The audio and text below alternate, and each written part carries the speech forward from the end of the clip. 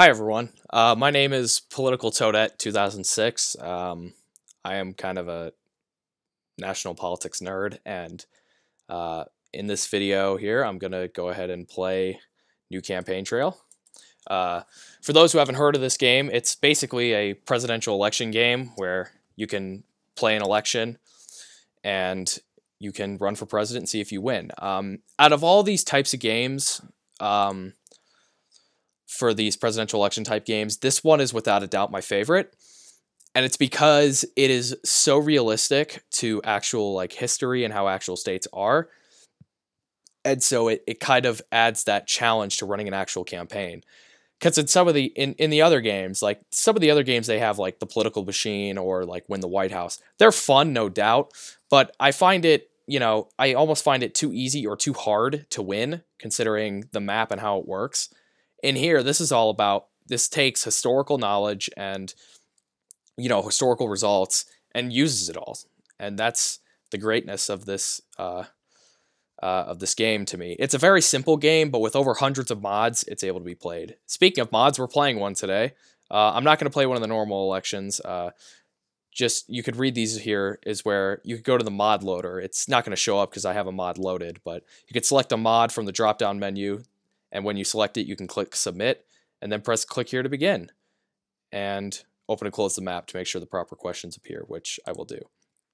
Okay, so in this one, I'm in this video, I'm going to play the 1964D. This is a alternate three-way race in 1964. This is between the Republican Barry Goldwater, the Democrat George Wallace, and the progressive Eugene McCarthy. Uh, America has stands unsettled, reckoning with the twin victories of Barry Goldwater and George Wallace just a year after the assassination of Kennedy, while liberals decried the two-party candidates. Barry Goldwater attempts to present himself as a moderate alternative to Wallace while dealing with his conservatism on economics and foreign policy, and his vote on the 1964 Civil Rights Act. George Wallace attempts to win while balancing his positions on segregation and other issues, and Eugene McCarthy hopes to keep liberalism alive against two deeply conservative candidates. Um, so let's go ahead and get into this. Uh, so the first candidate here is Barry Goldwater, of course, home state of Arizona. So he's kind of the granddaddy of the conservative Republican Party. Uh, and, you know, he was the actual Republican candidate in 1964 against Lyndon B. Johnson. And Goldwater got crushed because he was made to be a radical extremist who wanted to blow up the entire world. If you've ever seen the Daisy Girl ad, you could just go ahead and look it up. Uh, those were pretty much the tactics used against Goldwater, and they kind of worked.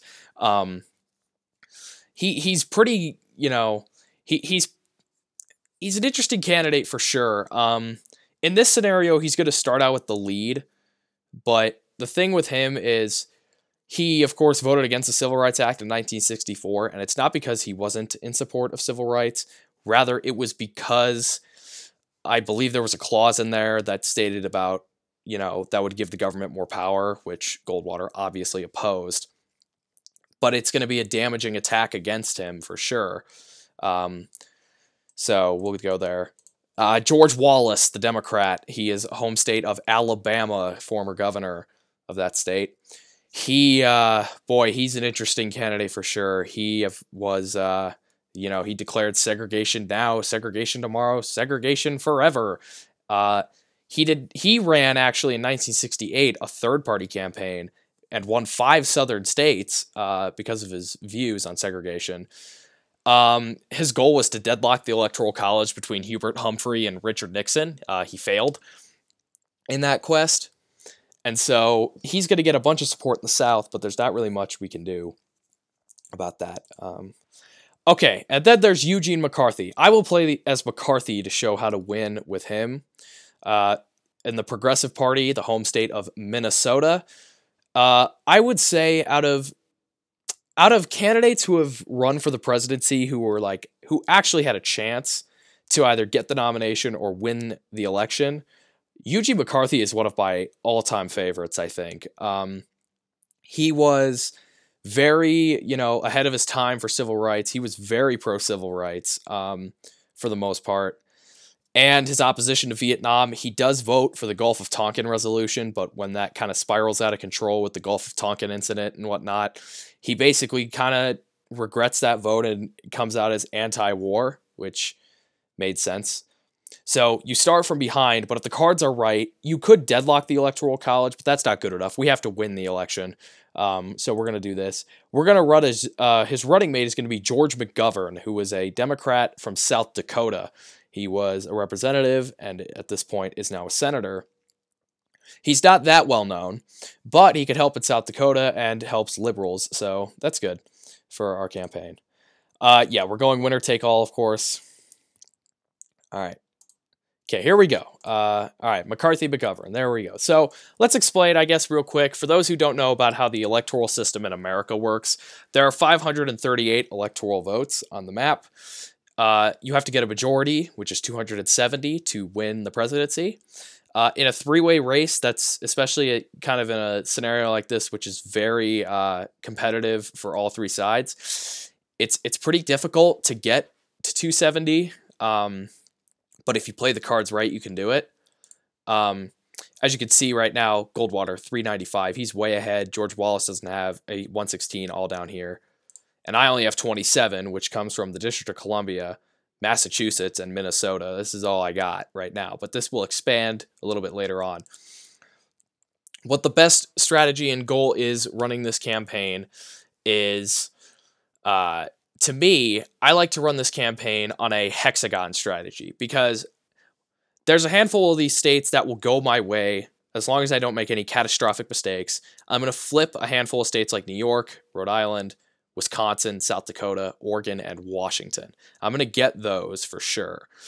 And then a hexagon strategy to win six of the big electoral prizes, which is California, Illinois, Michigan, Ohio, Pennsylvania, and New Jersey. I hope to the to flip the script in these states and get an edge in them. Uh, and if I win those six, I could then look to some smaller states, primarily Connecticut, but I could also look towards Vermont, Maine, and Hawaii to potentially give me enough electoral votes to get over the top. Uh, is it going to be hard? Yeah, but uh, I've had to play this uh, scenario a lot, so hopefully I can win it here for you guys. Um, and so, because as you can see, we don't really register in the South very well, considering our civil rights platform, you primarily want to attack Goldwater here because you're not really going to gain anything if you attack Wallace. There's a couple questions where you kind of have to, which is which is fine because it helps to get more moderates on your side, like moderate Democrats and whatnot. But you want to go after Goldwater and try to get more moderate and liberal Republicans is the goal. So here we go. Question one of 30. Um, so it is August, and after the nomination of Wallace, you've ready to announce a third party campaign for president under the Progressive banner. This was the fourth rendition of the Progressive Party in the century, behind, I believe, Teddy Roosevelt, Robert La Follette, and Henry Wallace uh, earlier in the century. Uh, what message do you want to emphasize in your announcement speech? Uh, you have to go hard on civil rights. Civil rights are extremely popular. You want to you want to push this message for the most part in this scenario. It's your best move to appeal. Civil rights is popular, so push it. Uh, so that doesn't do really much, but that's okay. So Goldwater has suggested on several occasions that he was willing to use nuclear weapons in Vietnam, and Wallace has only stopped short of that in his pro-war rhetoric. What will you do? Uh, you should run television advertisements. You want to attack hard against Goldwater here and they're damaging. Twisting the knife is the right move. So as you can see, we've jumped up to 83. Rhode Island, New York, Washington, all leading our way, which is obviously good and strong. So it's hard in this scenario because you have to play the cards correctly, of course, with these states, but some of these states where it said at the beginning I was down by 20 points. I'm down by 13 in Ohio, Pennsylvania, and New Jersey. Uh, Michigan is the most likely of the kind of hexagon that will go for me. So I, as long as I play well, I don't really worry as much about Michigan as I do about some of the other states. California's 12 points. Illinois is eight. I don't really, Michigan and Illinois are my two best, so it's really the other four I have to focus on. We will start in the Buckeye State. All right, after Wallace won the Democratic nomination, many liberals walked out of the convention. Protests outside, one way or another, turned into a riot. Sadly, this was common in the 60s, considering all of the changes going on. Wallace blames the liberals, while the liberals believe that it was the fault of the police. What do you think about all this? So, it's good to go after Wallace in this type of situation, I've found, because this answer, this was a police riot, plain and simple, is is kind of too out there. Uh, you don't also want to go kind of the peace route here. You want to attack Wallace for this. It might not be a bad idea to tie the riots and disorder to Wallace instead of letting him win the narrative on it. For sure, there. All right. Why did you pick George McGovern as your running mate? Well, we only have one answer here, but he has served South Dakota well, and he will be a great vice president. And we are up to 99. So slowly we are now, we've gotten almost every state at the beginning that I kind of mentioned you would get for sure if you played the cards right. Because now Wisconsin's leading our way and South Dakota. They're a little close now, but they're going to jump up later. Oregon's the other one. We'll wait on that. Uh, let's see. We'll go back to Ohio. All right, the image of President Johnson is currently a fairly unpopular one due to his working with Bobby Baker and Billie Sol Estes, shown by the outcome of the Democratic Convention. But its approvals have been slowly improving after your nomination. How do you want to deal with Johnson on the campaign trail? So, Lyndon Johnson at this time, because he's not popular in this scenario, you can't really go all about him. Um, you could try and go against him specifically for the corruption. So it it almost makes sense to go with the safe answer, which is talk about his popular achievements, which goes to civil rights or social security and some of the programs he initiated. So I will go this route. It keeps supporters happy without losing those that don't like him, but neither. So it's kind of just kind of a neutral answer that doesn't really do a whole lot. But that did give me Oregon now. Well, South Dakota went slightly against me, but eh, that's okay. We'll get that. All right, Barry Goldwater voted against the 1964 Civil Rights Act, although he voted in favor of other civil rights bills. Where do you stand on civil rights, particularly on the recently passed law? All right. So obviously, we need to come full support here. And I believe, let's see. So we're for civil rights, but let's avoid winning over Wallace voters. We're not really going to win those. Um, we are going to go with the pro support. It's a mainstream stance, and we're good on that front. Uh, it, it'll kind of rotate with some of these other states, but we'll continue uh, doing what we got to do. We'll go to Pennsylvania this time. All right, which strategy do you prefer? Attacking the candidacy of Wallace and appealing to his voters, or focusing on attacking Goldwater and winning over those considering voting for him? Um, we are going to go for Goldwater. He is the one ahead. We have to go after him. That is our that's our only way to win here. All right, there's been a lot of talk from Goldwater's camp about cutting spending, with him suggesting cuts to a variety of programs. What do you think about this? So we have to attack Goldwater here again. Um, we obviously can't support cuts. We don't want to do this stance right here. We can't. We could support the Democrats and say it is a uh, it's attack uh, a way to distract from the economic growth. Because remember, Eugene McCarthy, although he's running as the Progressive Party candidate in air quotes, he is a Democrat. He's just running as you know the progressive liberal Democrat that he is because the other two candidates are just a little too conservative, um, at least in his eyes and a lot of moderates' eyes.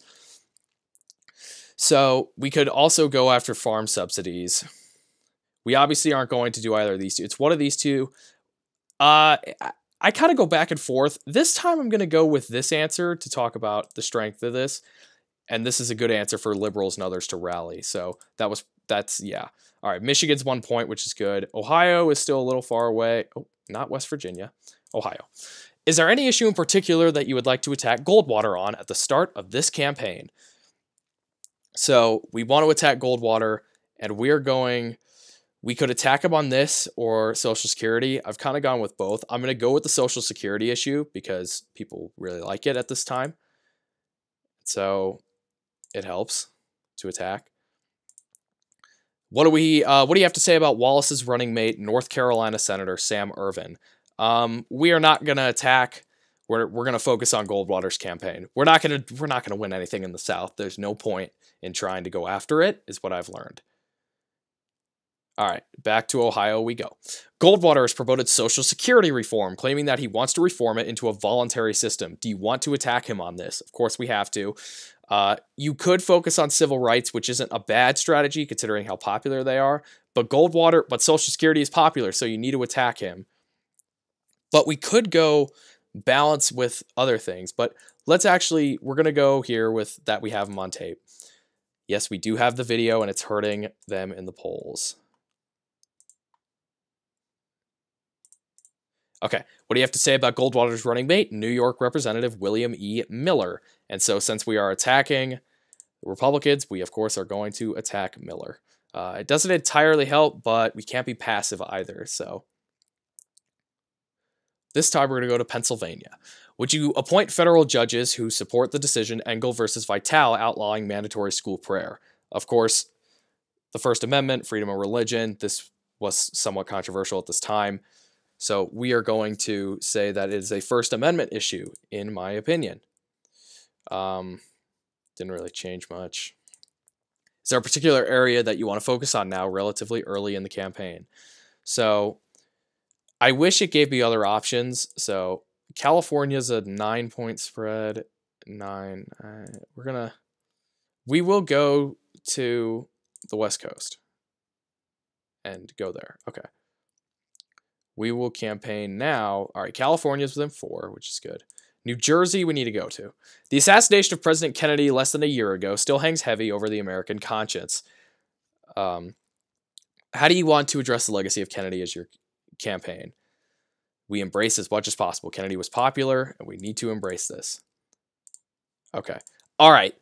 Okay, so some have raised the possibility of another presidential debate like the one in 1960, but Wallace has stated that he would only participate if you were there, while Goldwater has implied that is too far for him. What will you do? So, this is one of those questions that's completely luck based. You can see, I am totally willing to participate in a debate with the two, other two candidates, and I hope Goldwater gets on board. The important thing with this one there's a one in three chance you either get the good answer, the bad answer, or the kind of neutral in the middle answer. Being that we're behind, we have to debate here. We don't really have a choice. And so I'm going to go with the third option. Goldwater caves attempts a debate, but he was definitely off his game. You and Wallace managed to hammer him on several gaffes. So the debate is helpful to us, which is good. We need we need help in the debate for sure. Ohio, we got to go to. All right, if elected as president, what would you do to lower the inflation rate in this country, which currently stands at over 4%?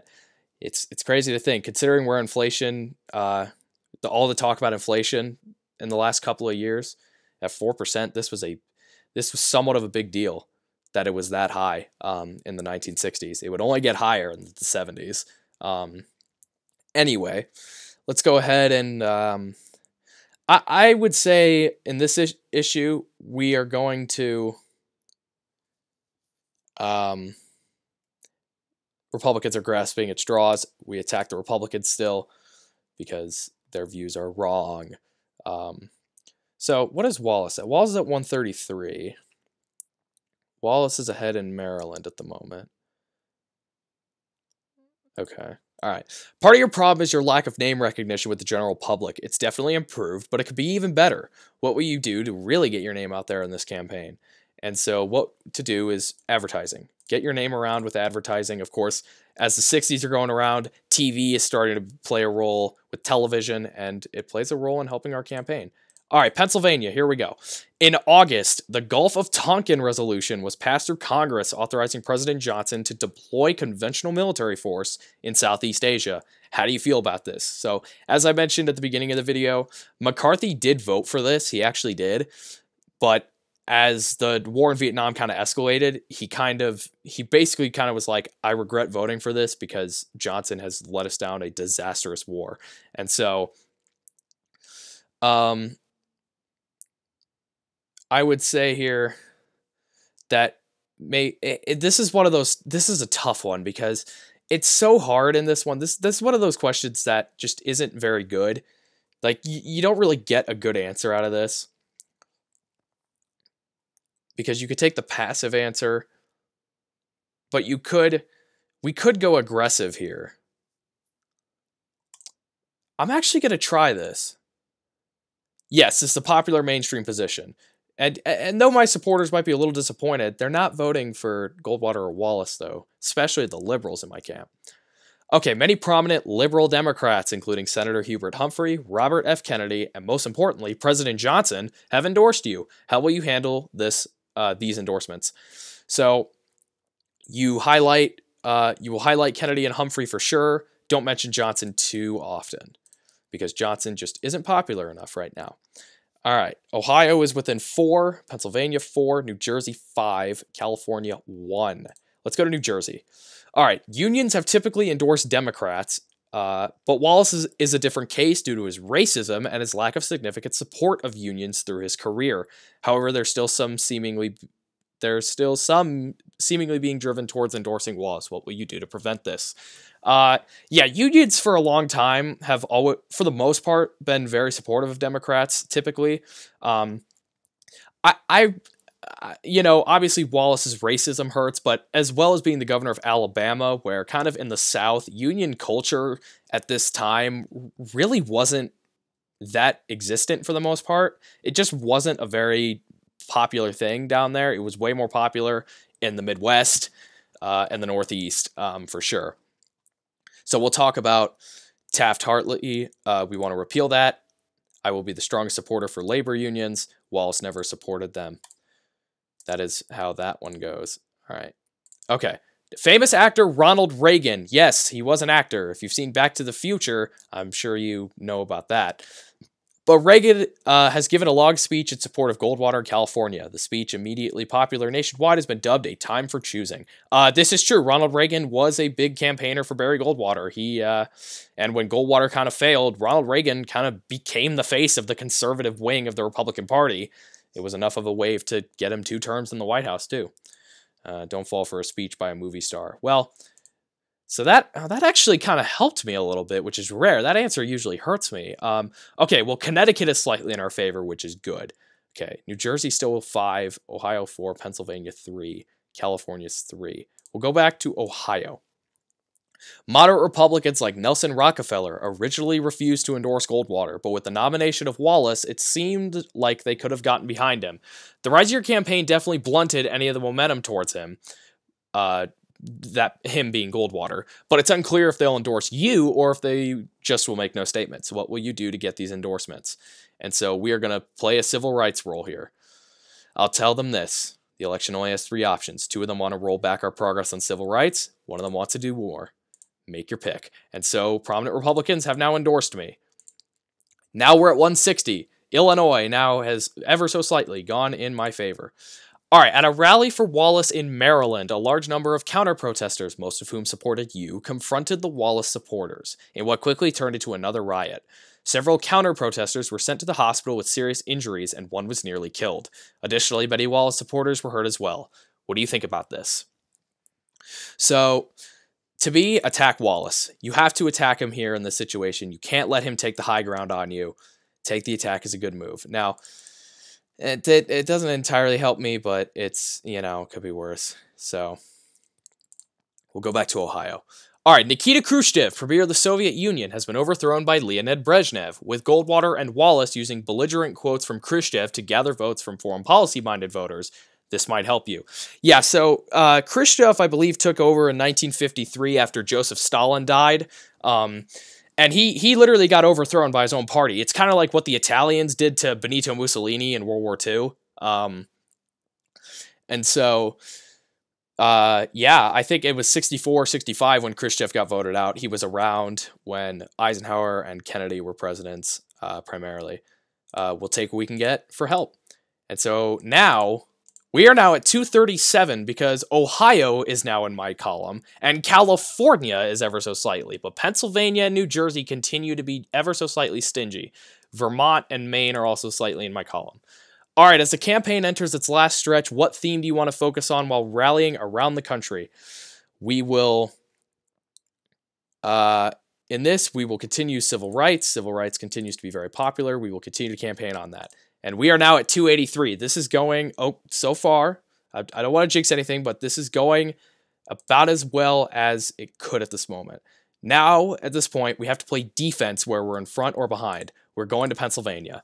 Reports are early at the moment, but we're getting information that your opponent, George Wallace, was just shot at in a rally in Indiana. We don't have much information about the attacker or Wallace's health, but many Wallace supporters are claiming that he was a radical leftist of some sort. What will you do? So, George Wallace did get shot in 1972 when he was running for president uh, for the Democratic nomination.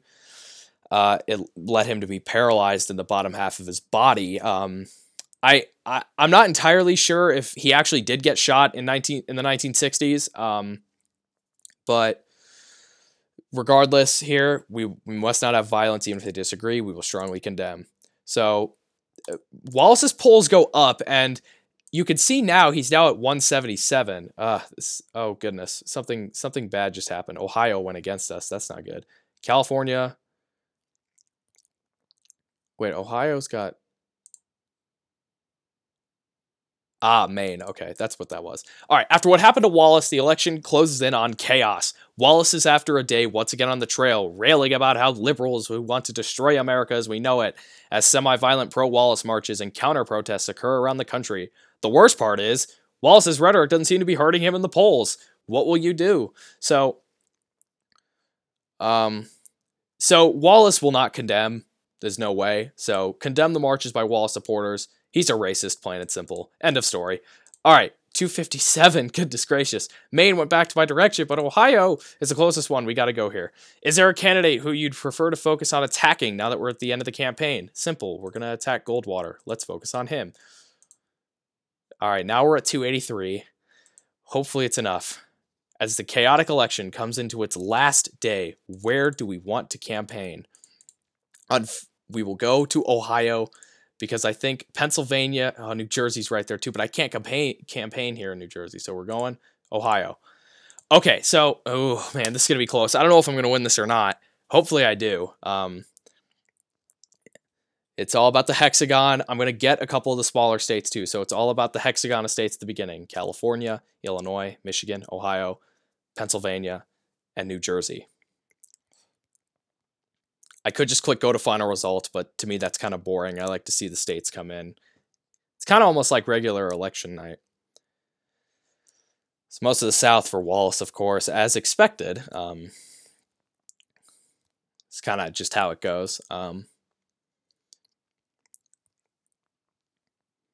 uh, got Vermont, cool. All right, most of Wallace's states are already in. He might get a couple more. Got Ohio, yes. Wisconsin, South Dakota, got Michigan. So it's Pennsylvania, New Jersey, because I uh, California, I don't know. Oh boy. This is this is stressful. We got Pennsylvania and New Jersey. If we get California, we win the election, I think, because we're gonna get Washington, Oregon, and Hawaii. So if we get California, I win. Got Washington for sure now. Wallace might win New Mexico, but it might go to Goldwater. Doesn't matter though.